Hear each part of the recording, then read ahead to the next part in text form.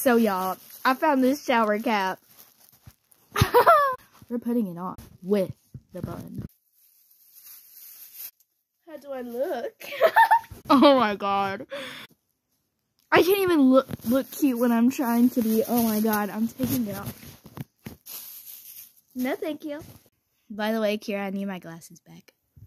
Okay, so I know y'all didn't ask me for a lip tip tutorial, but I'm gonna show you one. So you're gonna take this Context lipstick, and it's gotta be in the shade Robot Lover.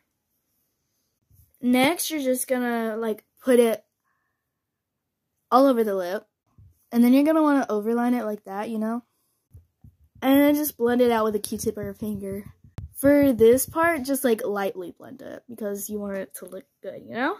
So I redid my eyeshadow because I mean it was fading, and this is it with gloss.